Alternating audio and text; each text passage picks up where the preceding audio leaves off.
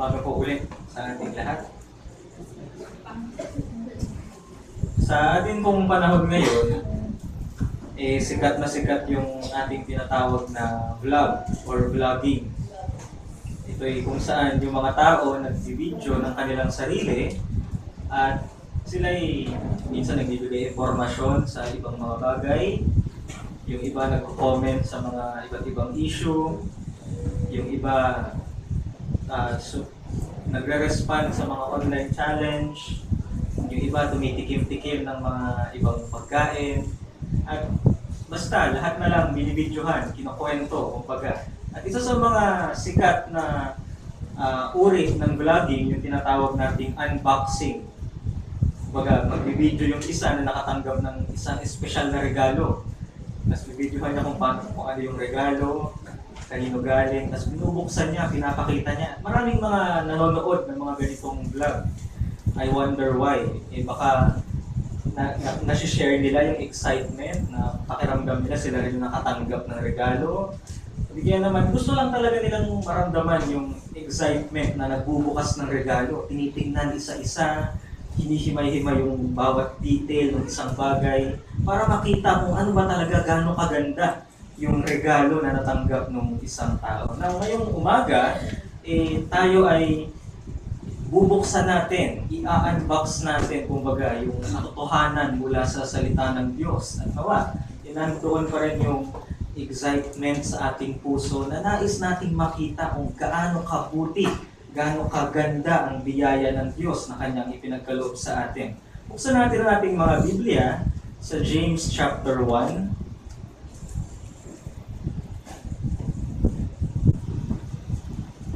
James chapter 1 verse 18.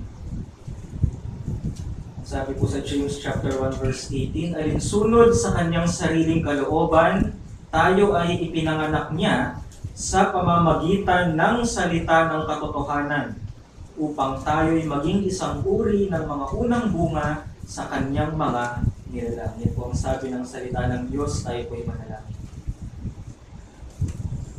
Panginoon, kami po ay mahina, hindi namin kayang unawain ang, inyo, ang inyo pong mga salita sa aming mga sariling pangunawa. Kaya hiling po namin ngayong umaga ang patuloy ninyong pagsama sa amin, sa aming pag-aaral ng inyo pong salita. Pakita nyo sa amin, Lord, at ipaunawa nyo sa amin ang kagandahan ng inyong kaloob na kaligtasan sa aming mga buhay. Nawa po, Panginoon, ay kayo ang matanghal sa aming pag-aaral, sa pangalan ng aming Panginoon Jesus. Amen. Now, alam po natin, alam na po natin ang context nitong ating at verse na binasa. Pinapakita po sa atin dito ni Santiago ang katangian ng Diyos kumpara sa kasalanan. Una niya tinalakay na ang tukso ay ganito, ang kasalanan ay ganito. Ito'y nagbubunga ng kamatayan. Ngunit, mula verse uh, 16, sabi niya, huwag kayong padaya, mga minamahal kong kapatid.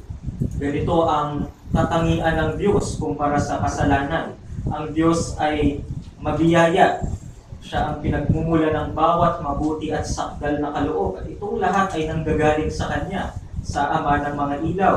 Siya ay immutable, siya ay hindi nagbabago. Wala siyang shadow of turning. Kung ano siya noon, siya pa rin hanggang ngayon. Kung ano ang kanyang sinabi noon, tapat siya sa kanyang salita, kanya itong tuto pa rin hanggang sa panahon ngayon. At pangatlo, ating makikita na siya ang Diyos na nagliligtas. Hindi lang siya ang Diyos na mabiyaya, hindi lang siya ang Diyos na hindi nagbabago, siya rin ang Diyos na nagliligtas. At dito, the saving God ay ating makikita na mayroong apat na katanungan na malilinaw pagdating sa ating kaligtasan sa verse 18. Una, sino ang nagliligtas? Ang sagot po ay ang Diyos ang nagliligtas. Ang sabi sa ating text, alinsunod sa kanyang sariling kalooban. Napakalinaw po niyan. Ang Diyos lang ang nagliligtas. Siya lang ang may kakayahang magligtas alinsunod sa kanyang sariling kalooban. Ang kalooban po niya ang nasusunod pagdating sa ating kaligtasan. Hindi po alinsunod sa ating sariling kalooban, ito ay alinsunod sa kanyang sariling kalooban. It's under His prerogative if He will save someone. At kung siya ay nagligtas, ay hindi natin maaaring pigilan na sabihin natin, hindi pa ngayon, ayoko muna. Eh, hindi po natin mapipigilan kung ang Diyos ang nagliligtas dahil ito'y alinsunod sa kanyang sariling kalooban lamang. Ang plano niya ang nasusunod, ang soberanong pasya at kilos ng Diyos ang gumagawa sa puso ng mga makasalanan. Kaligtasan po, ulitin natin, ang kaligtasan ay tanging kilos at gawa ng Diyos. Kaya po ito naging biyaya. Remember, we are saved by grace. At kaya ito naging biyaya, kaya ito naging libre, kaya ito naging pabor. Dahil ito po ay nasa kalooban lamang ng Diyos. Kung tayo ay may dapat gawin upang uh, magkaroon ng pabor sa atin ang Diyos, hindi na ito biyaya. Condition na yun. But then kapag ito'y biyaya, ito'y hindi dapat mapunta sa atin. Pero ito'y libre niyang ipinagkaloob. Ang kaligtasan ay biyaya ng Diyos lamang. Wala tayong kakayanan na iligtas ang ating sarili. Imposible sa atin na mapunta sa daan ng kaligtasan. Kaya ito'y ginawang posible ng Diyos. Now, what does this mean? Alinsunod sa kanyang sariling kalooban, it means siya ang may akda ng lahat.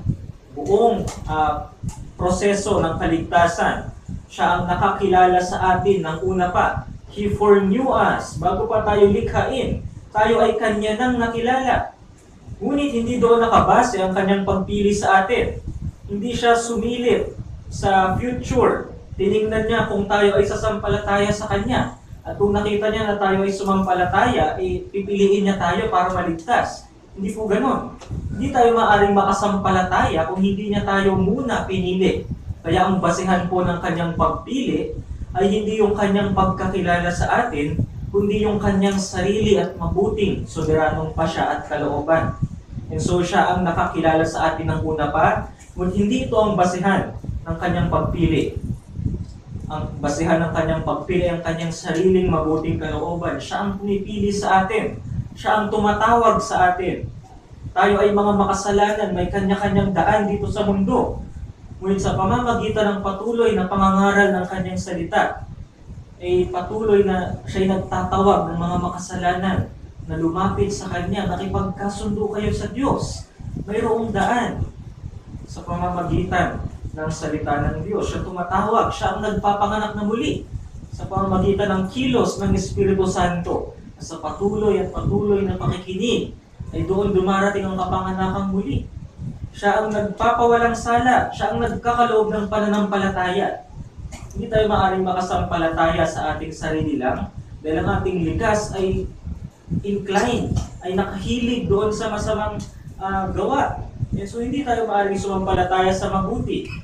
Hindi natin kilala ang Diyos. And so siya ang nagkakaloob ng pananampalataya sa atin at kaakibat ng pananampalataya, siya ang nagkakaloob ng pagsisisi sa atin upang baguhin natin ang ating isip, baguhin natin ang ating gawa at kumarap tayo sa Diyos.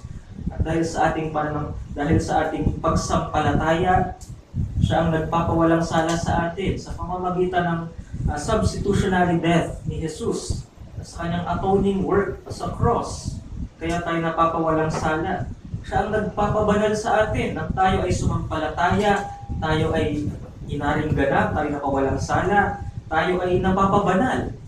Tayo ay napapanatili niya hanggang wakas, kaya tayo, nalig, kaya tayo naligtas. Hindi dahil sa ating uh, sariling pagsusumika, sa ating sariling pag-iingat ng ating kaligtasan, kundi siya ang Diyos ang nagpapanatili sa atin, kaya tayo may kakayahan na panatilihin ang ating sarili sa ating kaligtasan at maging sa huli, hanggang sa huli. Siya ang magluluwalhati sa atin. Siya ang tutupad ng ating kaligtasan. Siya ang magpapabanal sa atin, mag-glorify ng ating katawan hanggang tayo ay makasama niya sa langit. So, itong uh, salitang, itong mga salitang ito ay sunod sa kanyang sariling kalooban yun ang ibig sabihin. Buong proseso ng kaligtasan ay siya lang ang may akda. Now, the second question, ano ang kaligtasan? Balik sa ating text, alinsunod sa kanyang sariling kalooban, tayo ay ipinangat, ipinapanganak niya. Ang kaligtasan ay ito. Ang kaligtasan po ay nagsisimula sa kapanganakang muli. At kapag tayo ay naipanganak ng muli, doon natin matatanggap yung buong package ng ating kaligtasan. Papanganak tayong muli, makakasampalataya tayo sa Kanya. Kapag tayo sumampalataya, mapapawalang sala tayo, tayo magiging anak, tayo magiging, ah, tayo mapapabanal, tayo mapapanatili at tayo kanyang luluwalhatiin. Now, ang buong kaloob ng kaligtasan, ito'y nakabase kung tayo ay tunay na naipanganak na muli. Yan ay ating nilinaw noong nakaraan. Ang buong kaloob ng kaligtasan ay nakadepende sa ating kapanganakang muli. Kaya kailangan tayo munang maipanganak na muli bago tayo makapasok sa kaharian ng Diyos. Yan sabi ni Jesus kay Nicodemo sa John chapter 3 verse 3. Now, ano itong kapanganakang muli?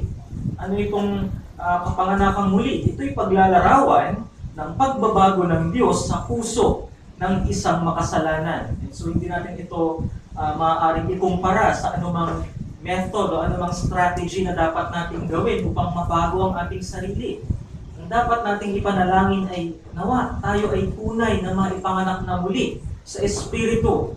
At kung tayo ay tunay na naipanganak na muli sa Espiritu, ay wala na, wala na tayo sa mga gawa ng laman. Wala na tayo sa mga gawa ng ating sariling katawan.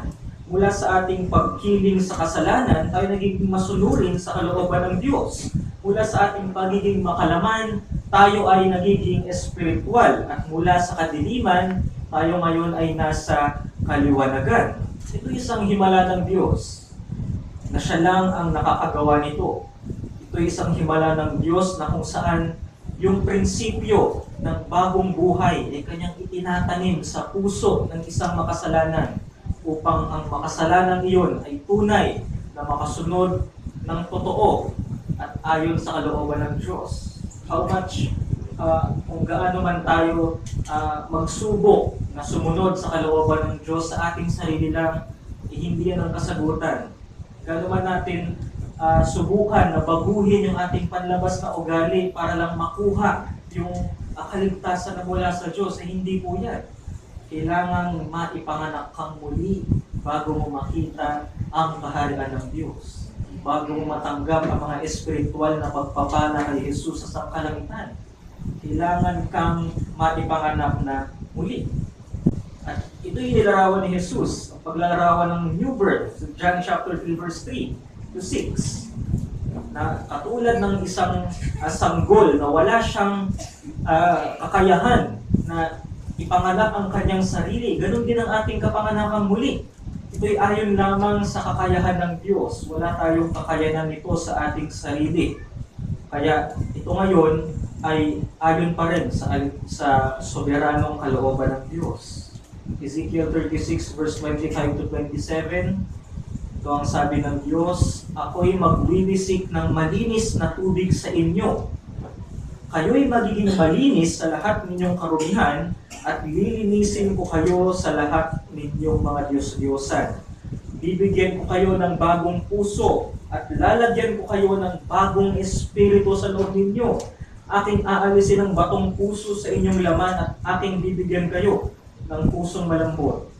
Aking ilalagay ang aking espiritu sa loob ninyo at palalakarin ko kayo ng ayon sa aking mga tungtunin at magiging maingat kayo sa pagsunod sa aking mga batas. Yan ang pangako ng Diyos sa kapanganakang muli. Tayo huhugasan, ng biwisikan ng malinis na tubig upang tayo ay maging malinis at tayo ipapanganak ng Espiritu. Nang sa ganun ay may karoon, pagkaroon tayo ng kakayahan na makasunod sa kanyang kalooban. Hindi natin alam kung kailan ito nangyayari. I don't I don't know how the Spirit moves, convincing men of sin, revealing Jesus through the Word, creating faith in Him. Ganyan ang ating kapanganakang muli. Hindi natin alam, ngunit sa patuloy, patuloy na pakikinig ng salita ng Diyos, nagkakaroon ng pananampalataya sa puso. And that's the answer to our third question. Review pa lang yun. Ito, yung ito, ito na tayo sa ating pag-aaral ngayong umaga. Paano dumarating ang kaligtasan? Balik po tayo sa ating text. Alinsunod sa kanyang sariling kalooban, tayo ay ipinanganak niya. Paano? Sa pamamagitan ng salita ng katotohanan. By the word of truth. By, nandun yung ah, salitang by o sa pamamagitan. Meaning ito ang paraan kung paano dumarating ang kaligtasan sa buhay ng isang tao. Sa pamamagitan ng salita ng katotohanan. By the word of truth. Ang mga mananampalataya ay naipapanganak na muli sa pamamagitan ang mga makasalanan ay ipapanganak na muli sa pamamagitan ng kapangyarihan ng salita ng Diyos. Now, this, this phrase, salita ng katotohanan or word of truth, hindi lang ito makikita sa sulat ni Santiago. Ginagamit ito ng madalas ni Apostol Pablo sa kanyang mga sulat din sa iba't ibang iglesia. Tingnan natin kung saan niya ito ginamit upang mas maging malinaw kung ano ibig sabihin ito.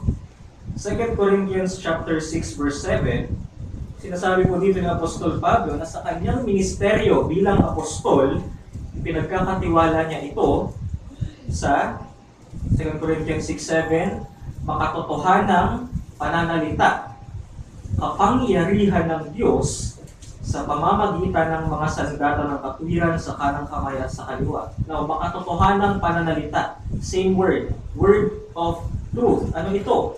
Sabi ng kasunod, kapangyarihan ng Diyos.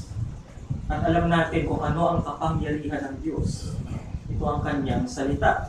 Colossians chapter 1 verse 5. Kanya pong pinapaalalahanan ang mga mananampalataya sa Colosas sa kanilang pag-asa.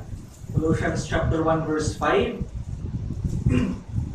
Masabi po doon, dahil sa pag-asa na nakalaan sa inyo sa langit, na nakalaan para sa inyo sa langit, na inyong narinig noong una sa salita ng katotohanan, ang Ebanghelyo.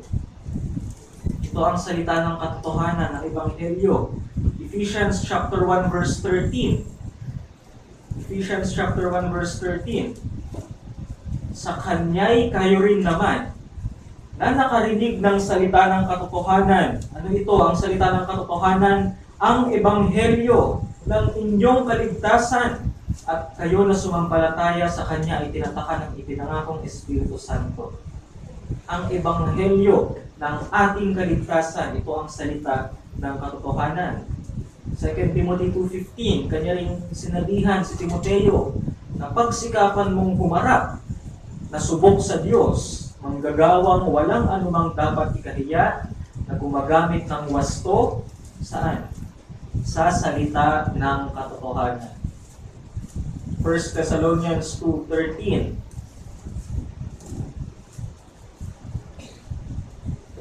1 Thessalonians 2.13 At kami ay patuloy na nagpapasalamat sa Diyos na nang inyong tanggapin ang salita ng Diyos na inyong narinig sa amin, ay inyong tinanggap iyon hindi bilang salita ng mga tao, kundi ayon sa katotohanan ay bilang salita ng Diyos na gumagawa naman sa inyo na sumasampalataya. Now, salita ng katotohanan, ano ibig sabihin?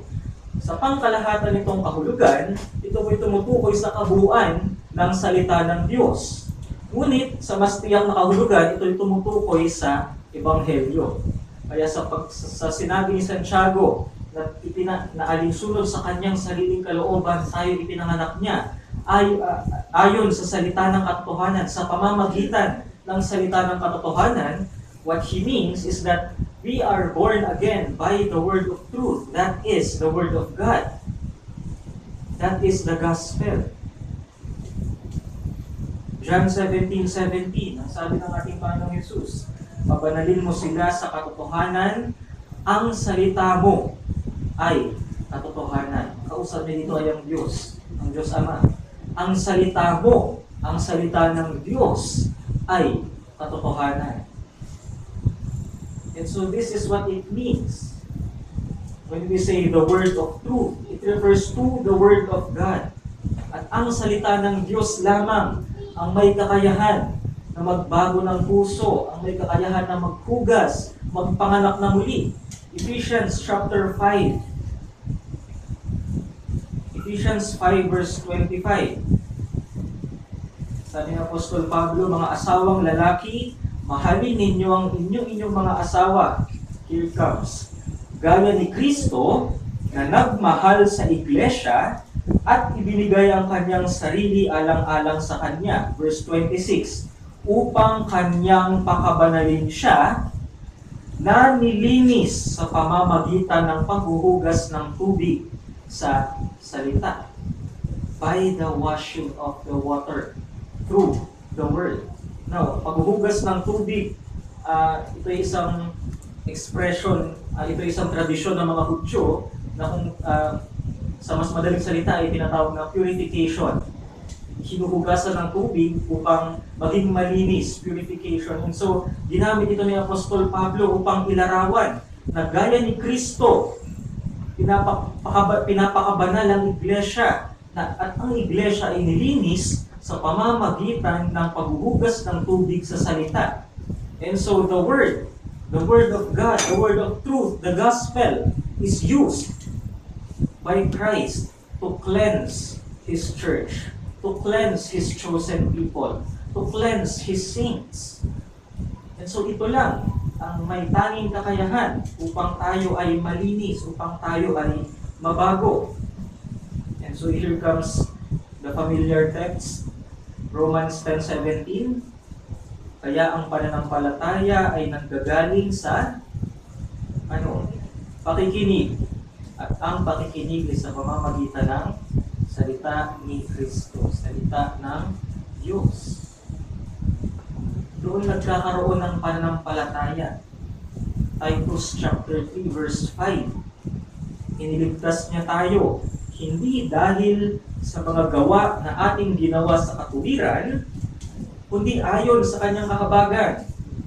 Sa paanong paraan? Sa pamamagitan ng paghuhugas ng muling kapanganakan at ng pagbabago sa pamamagitan ng Espiritu Santo. Sa pamamagitan ng paghuhugas ng muling kapanganakan, we are washed through the regeneration. At paano ito dumarating sa pamamagitan ng pakikinig, pakikinig, pakikinig ng salita ng katotohanan.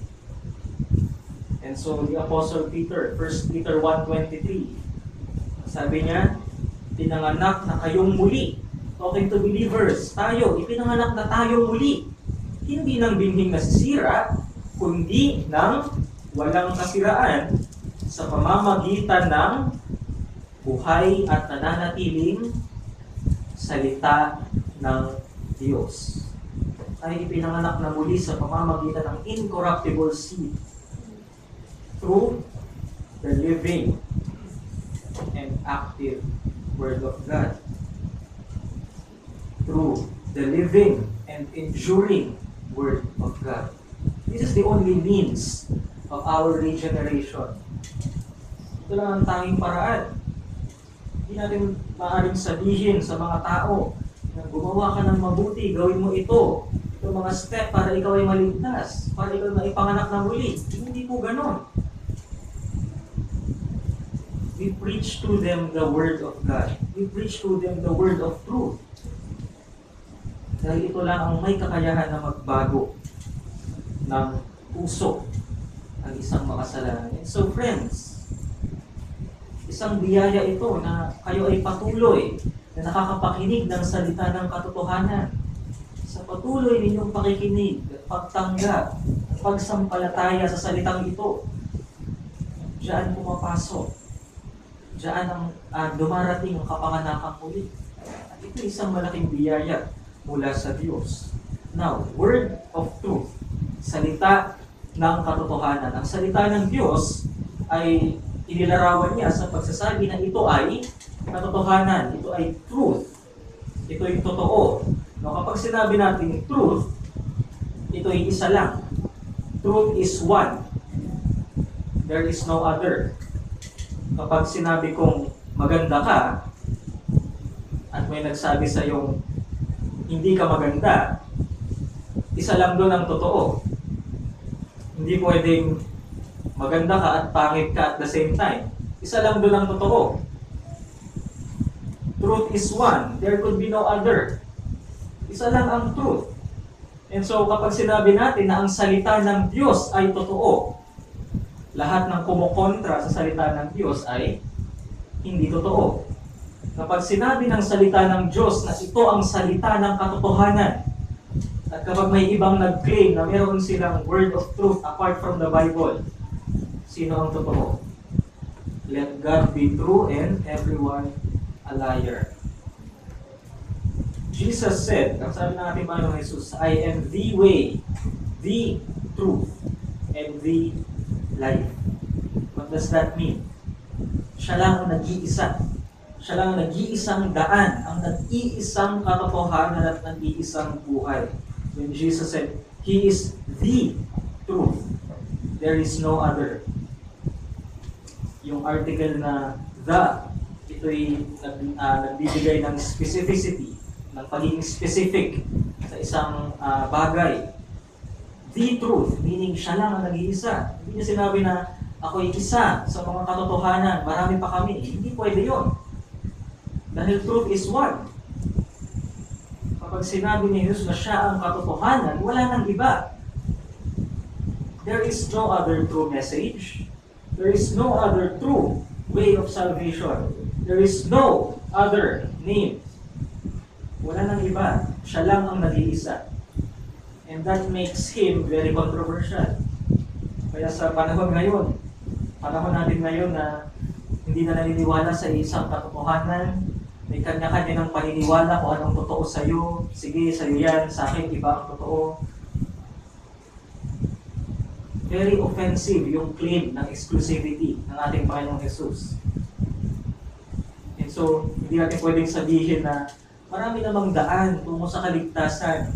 Iba-iba lang ang pangalan pero isa lang ng Diyos yan. Eh, hindi po ganun. When Jesus said, I am the way, the truth, the life, He means it. Siya lang ang nag-iisa. There is no other. At dapat ay malinaw sa atin yan. Walang ibang nanangaral ng katotohanan, walang ibang source ng katotohanan, walang ibang daan ng kaligtasan apart from the Bible, apart from what Jesus Christ is teaching. It is exclusive. The Bible says it is the word of truth, all other ways are false. The Muslim way is false. The Buddhist way is false. Lahat, all other religions, the Mormon way is false. Lahat ng iba, lahat ng kaiba sa gospel na itinuro sa Biblia, ito'y hindi totoo. At gano'n ito ka offensive sa, sa mundo ngayon. Ang yabang nyo naman, kayo lang, sabihin, kayo lang ang maliligtas. Well, if that's what the Bible says, let God be true and everyone a liar. Panghawakan natin ito. Ito ang salita ng katotohanan. The only one. Now, a lesson can be made para sa atin. We are holding God's truth. Sa ating lahat ng mga mananampalataya, eh baka natatakot tayo na ibahagi ito sa iba dahil nga ah, offensive ang pananaw na ito para sa kanila. Brethren, we are holding God's truth. Don't be afraid to proclaim it. Ito lang ang tanging paraan ng Diyos upang pagligtas. Mo tayong matakot na ipahayag ito. We have no other message to bring. Sino man ang ating kaharap, sino man ating kausap, kaibigan man, stranger, sino mang tao yan, we have no other message to bring apart from the word of truth. Yes, we can share our testimony, ang ating karanasan, kung paano tayo niligtas ng Diyos. But it should always point to the word of truth in the Bible. Hindi tayo ang bida sa ating sariling patotoo. Ang Diyos ang ating ipapakita kung gaano ka makapangyarihan ang Diyos, kung gaano siya kabiyaya sa kanyang kaligtasan, kung anong ginawa ni Jesus para sa atin upang tayo matubos. That is the word of truth. Doon natin lagi ituturo yung nag-iisang daan at katotohanan ng kaligtasan, ang Ebanghelyo. This is the power of God to save. And so you see, we have the most powerful weapon in our arsenal. Ano mang, ano man, ang sino man makaharap natin, we have the most powerful weapon to use. Alam natin ang kapangyarihan nito. Kilala natin yung ating sarili.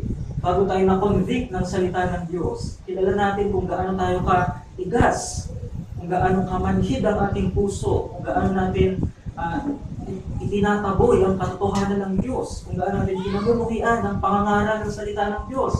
But here we are now. Nakikinig tayo sa salita ng Diyos. Sumusunod tayo sa salita ng Diyos. And that's a miracle. Ito isang himala sa pamamagitan lamang ng ating patuloy na pakikinig at sa pamamagitan ng kapangyarihan ng salita ng Diyos upang magbago ng puso. Alam natin ang ating sarili kung gaano, ka, kung gaano tayo ka-depraved, kung gaano tayo ka-makasalanan dati. Bago tayo kausapin ng salita ng Diyos, kung bago tayo i-confront ng salita ng Diyos na ikaw ay makasalanan, ikaw ay pupunta sa impyerno, ikaw ay walang magagawa. But then here's the good news, here's the word of truth. Christ died for your sin so that you can become the righteousness of God in Him. That is the word of truth. Huwag nating bitawan ito. Sino man ating kaharap, ito ang ating laging uh, bukang bibig. Pahayag natin ito. This is the word of truth. Yes, it is offensive.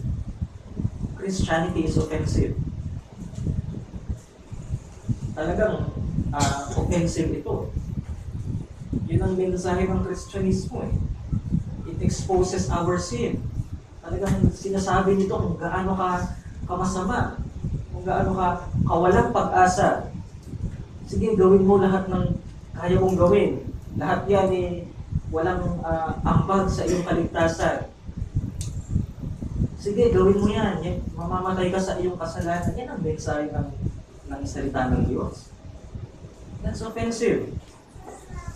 But it paves the way to the gospel. Kapag dumating sa iyo ang bigat ng salita ng Diyos, tinagal-tagal mo nang nakikinig na parang walang epekto sa iyo. Pero kung dumating sa iyo ang bigat ng salita ng Diyos, eh makikita mo kung gaano ito ka makapangyarihan na ikaw ay magbabago sa pamamagitan nito. Yes, it's offensive, but then remember, pakinggan natin ang sinabi ni Apostol Pablo, Ephesians 4.15, humawak sa katotohanan na may pag-ibig.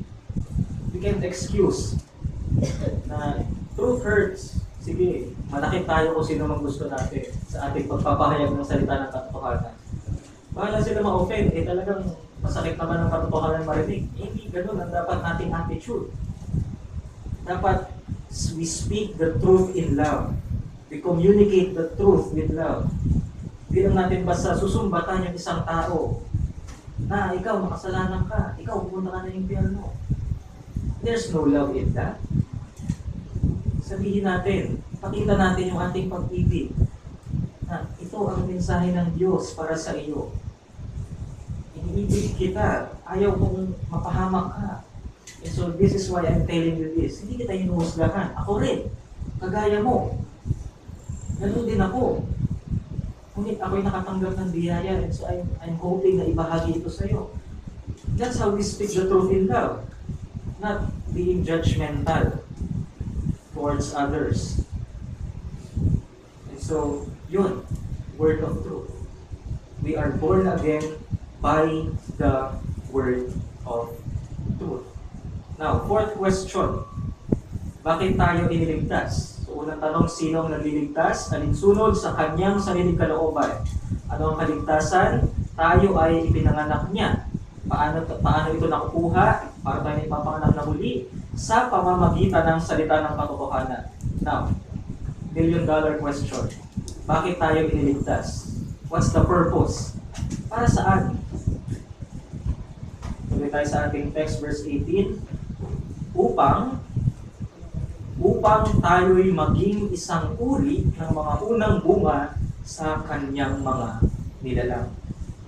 Bakit daw tayo iniligtas? Upang tayo maging isang uri ng mga unang bunga sa kanyang mga nilalang. yung mga pinili ng Diyos sa kanyang sariling kalooban, yung kanyang mga ipinanganak na muli, yung kanyang mga tinawag sa pamamagitan ng salita ng katotohanan, hindi niya ito pinababayaan. Meron siyang layunin, may layunin ang Diyos, kanyang isip, ang tunguhin ng ating kaligtasan. Hindi dito titigil ang ating kaligtasan. Na ito ay sumampalataya, tayo na ipanganak na muli, and we stop there. Hindi ganun. May tunguhin ito sa ating buhay. Bakit tayo iniligtas? Upang tayo. Sabi dyan, upang tayo. Tayo yun, yung kanyang mga iniligtas. Upang tayo'y maging isang uri ng mga unang bunga sa kanyang mga nilalang. First fruits in His creatures. You see, ang kaligtasan, ito yung pinakadakilang kaloob ng mabuti at sakdal na Diyos sa atin bilang mga tao. Pero, listen, ang pangunahing layunin ng ating kaligtasan ay hindi upang tayo ang mag-benefit. Sino ang mag-benefit sa ating kaligtasan? Ito'y para pa rin sa katuparan ng soberanong kalooban ng Diyos upang tayo ay maging unang bunga, first fruits in His creatures. Now, first fruits, ano ito? The concept of first fruits, mga unang bunga, ito yung mga pinakamabuti, pinakamaganda at katangi-tangi sa mga ani. Ito yung utos ng Diyos sa anong panahon pa ni Moises sa mga Israelita na kapag kayo ay dumating na at pumasok sa lupang pangako, eh, buksan natin Leviticus 23 verse 10 to 11. Leviticus 23 verse 10.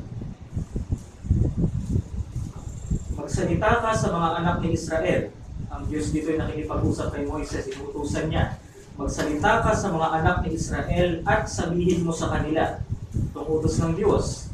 Kapag kayo'y dumating sa lupain na aking ibinibigay sa inyo at inyong nagapas na ang anim yun, ay dalhin ninyo sa pari ang unang bunga ng inyong inani.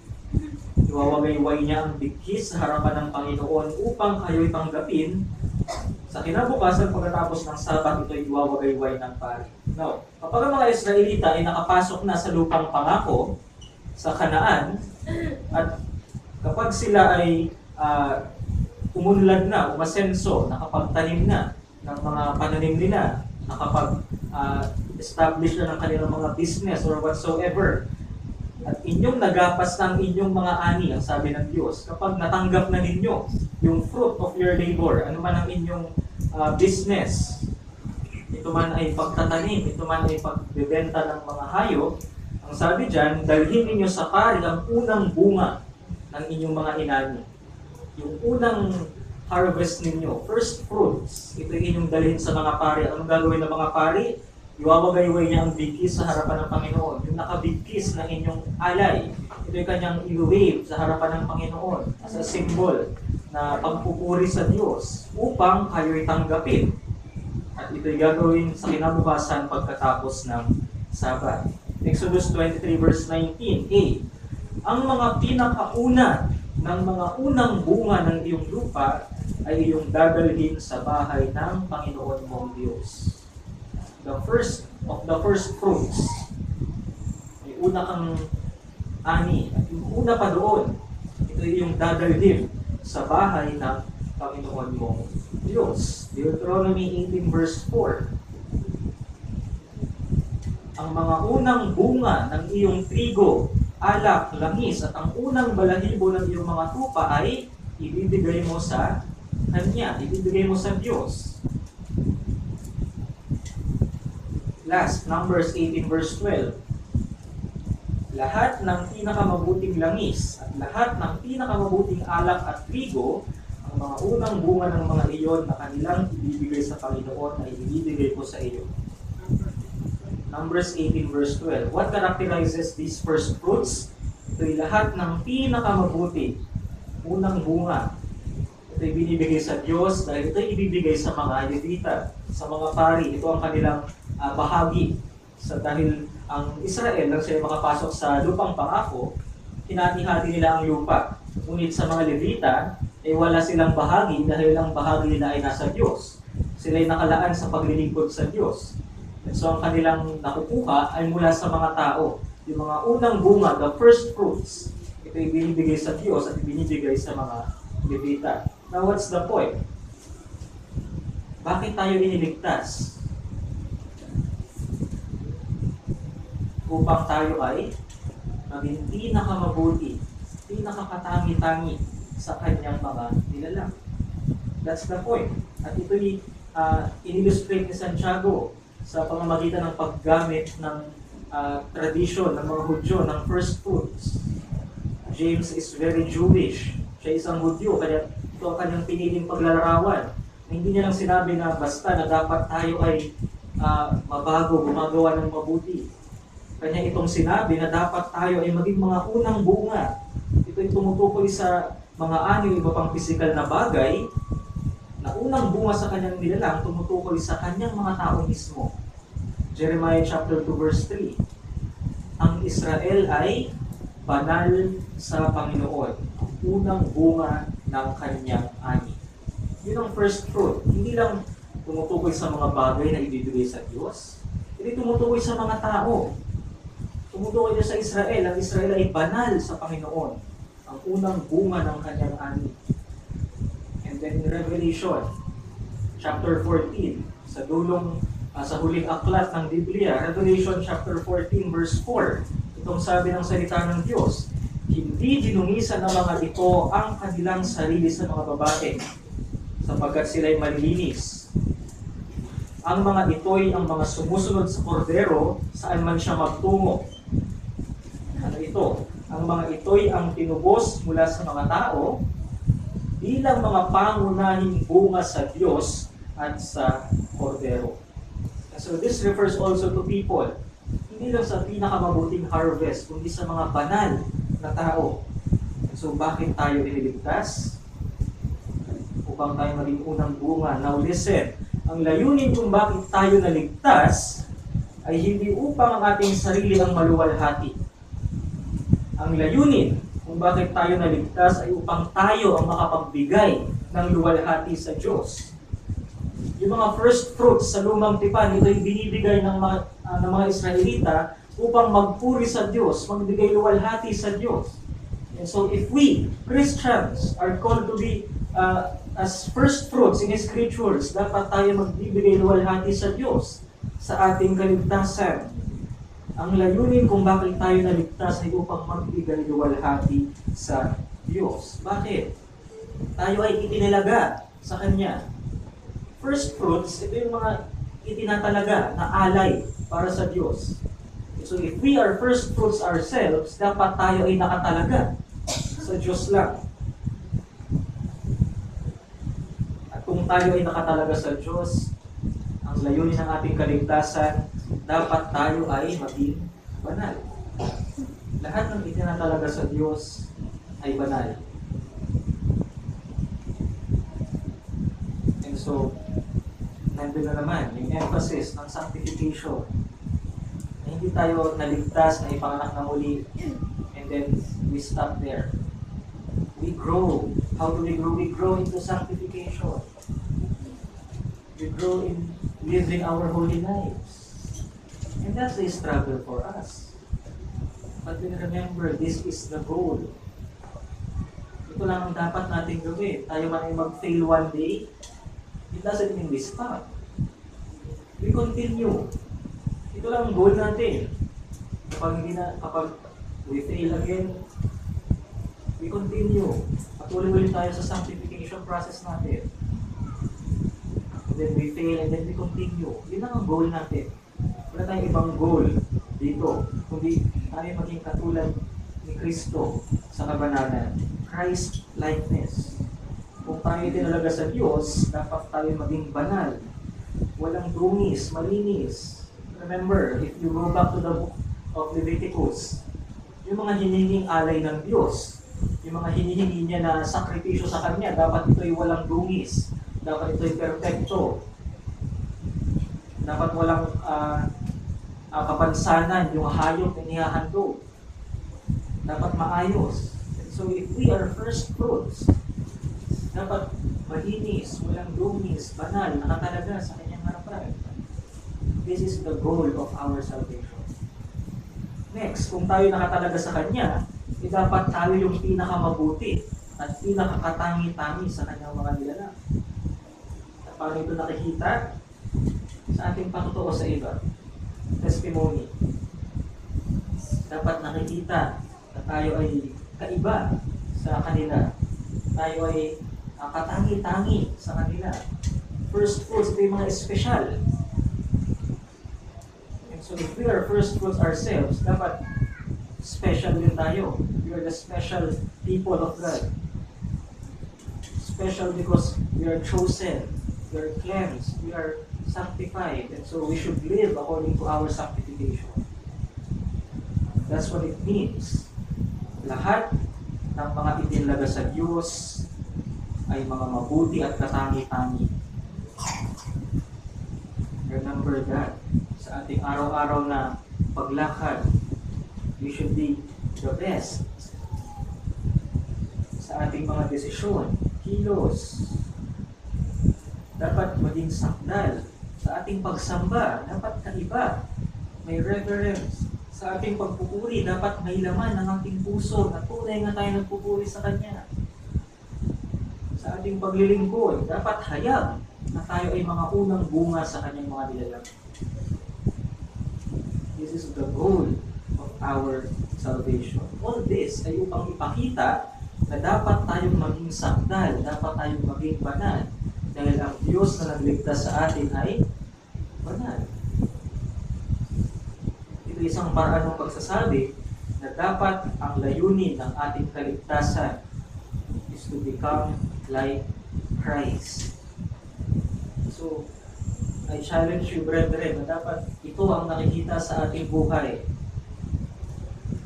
We should be the kind of first fruits. Nakikita ito ng mga tao sa ating paligid. Dapat makikita na tayo ay tunay nga na iligtas ng Diyos. This is the goal of every preaching of the Word. Hindi upang ipakita na magaling yung mangangaral ng salita ng Diyos. Hindi upang ipakita, hindi upang uh, makapagkamal tayo ng napakaraming mga salapi, mga ari-arian, mga kayamanan. Hindi upang magtayo tayo ng sariling relihiyon, ng sariling grupo, ng panlupang kaharian. Hindi upang magmayabang tayo sa mga tao. Ang ating layunin kung bakit ipinangangaral palagi ang salita ng Diyos ay upang magpatuloy tayo na maging mga unang bunga sa kanyang mga nilalang. Upang ipakita sa mundo na ang kapangyarihan ng Diyos upang magbago ay totoo. Upang ipakita sa mga ipakita sa mundo sa mga makasalanan na tunay na kumikilos ang Diyos sa ating mga puso. Ephesians chapter 2 verse 8 sapagkat sa biyaya kayo'y naligtas sa pamamagitan ng pananampalataya. At ito'y hindi sa pamamagitan ng inyong sarili, ito'y kaloob ng Diyos. Hindi sa pamamagitan ng mga gawa, upang ang sino man ay huwag magmalaki. Verse 10, here it comes. Sapagkat tayo'y kanyang pinakamahusay na gawa na nilalang kay Kristo Jesus for what? Para sa mabubuting gawa na inihanda ng Diyos ng una pa upang siya nating lakaran. Good works. Ladies and gentlemen, good works is very important. Is the goal of our salvation. Now it doesn't say the good works can get us salvation in the first place. Even James makes it clear in this in his epistle na kailangan natin ng mabuting gawa upang ipakita na tunay yung ating pananampalataya. So nauuna, yung pananampalatayang kaloob ng Diyos bago tayo magkaroon ng mabuting gawa. And so it, this false, falsifies the teaching na kailangan natin ng mabuting gawa upang tayo maligtas. It's the other way around. Kailangan mo munang maipanganak na muli. Kailangan mo munang mailigtas. At doon papasok yung good works as evidence of that salvation in you. Note this, huling binanggit ito ni Santiago sa verse na ito. Anong una niyang binanggit? Alinsunod sa kanyang sariling kalooban. Nauuna yung kalooban ng Diyos. Nauuna yung purpose ng Diyos na magligtas. Saka darating sa huli. Huling phrase. Doon darating. It- It's a result ng kaligtasan na ginawa ng Diyos. It's a result ng gawa ng Diyos sa puso ng isang tao. Kaya kagagawa ng good works. Dahil kung gagawa lang tayo ng good works, kung nang hindi kumikilos muna ang Diyos sa ating sarili, wala lang ang ating good works. Hindi ito makakaabot sa kaluwalhatian ng Diyos. So you see, kahit sa ating pamuhay bilang Kristiyano at mga bagong nilalang, pamumuhay ng ating kaligtasan, lahat ito ay nakaturo pa rin sa Diyos. Romans 11.36, sapagkat mula sa Kanya at sa pamamagitan niya. And what's the goal? At para sa Kanya. Lahat ng mga bagay. Sumakanya nawa ang kaluwalhatian, magpakailanman. Lahat ito ay nakaturo sa Diyos. Buong proseso ng ating kaligtasan. Now, challenge. Ipakita natin na ang salita ng katotohanan ay talagang totoo sa ating buhay sa pagsasabuhay natin ng mga sinabi dito. Kung anong sinabi sa salita ng Diyos, gawin natin. This is the word of truth. Kung hindi ito nakikita sa atin, we might be falsifying the claim that the Bible is the word of truth. Dahil hindi ito nakikita sa atin. And so, you see, the Bible is our most powerful weapon to use. But then, isa rin itong malaking accountability sa atin. Na kung gagamitin natin ito, ay dapat nakikita ito sa atin. This is the word of truth. And bilang mga unang bunga, lumakad tayo ayon sa kalooban ng Diyos. First fruits are offered para sa Diyos. Ito ay kanyang kalooban. And so we are first fruits, tayo mga unang bunga bilang mga Kristiyano, ito ay kalooban ng Diyos sa atin. And so dapat tayong lumakad sa kalooban ng Diyos. Italaga natin yung kabuuan ng ating sarili. Ang Diyos ay hindi tumatanggap ng handog na hindi perpekto, ng handog na kalahati na. Dapat buo. So italaga natin ang kabuuan ng ating sarili. Hindi lang bahagi ng ating sarili. Italaga natin yung kabuuan ng ating buhay. Hindi lang yung bahagi ng ating buhay, hindi buo. Every thought, every deed, captive to the Word of God. Our time, our money, our resources, lahat yan, it's all for the glory of God. Because I am a kind of first fruits in His creatures. Italaga natin ang ating sarili sa pagsamba at pasasalamat sa biyaya ng Diyos. Romans 12.1 Kaya nga mga kapatid, isinasama ko sa inyo, alang-alang sa mga kahabagan ng Diyos na inyong ialay ang inyong mga katawan na isang handog na buhay, banal, na kasiyasiya sa Diyos na siya ninyong makatwirang paglilingkod. That's our rightful service. Italaga natin ang ating sarili, buo, buhay, banal, kasiyasiya sa Diyos. There, there are two kinds of people in this world. Yung mga nagsasabi na thy will be done yung mga nagsasabi na my will be done. At bilang mga first fruits in His creatures, dapat nandun tayo sa thy will be done. Hindi natin ina-assert ang ating sarili, kundi ang kalooban ng Diyos ang mangyari. Ako iniligtas ng Diyos, siya'y kumilos sa aking buhay. So, lahat, buong buhay ko, sa Kanya na ako. Si Augustine, church father, bago siya ma-convert, eh talagang napakamakasalanan ng kanyang buhay sa kanyang description. Marami siyang iba't ibang mga babae. Now, after niyang ma-convert, yung isang babae na kanyang ah, kinasama noon, lumapit sa kanya. Kinukulit siya na, Agustin, ako to. Hindi siya lumilingon. Hanggang sa kinulit talaga siya ilang ah, beses, Lumingon siya, ang sabi niya, Oo, alam kong ikaw yan. Pero hindi na ako to. Nakatalaga na siya sa Panginoon. So may we have the same courage na sabihin na sa ating mga dating pamumuhay na hindi na ako to. Ako'y nakatalaga na sa Diyos. Ito ang goal ng ating kaligtasan. Tayo po'y manalangin.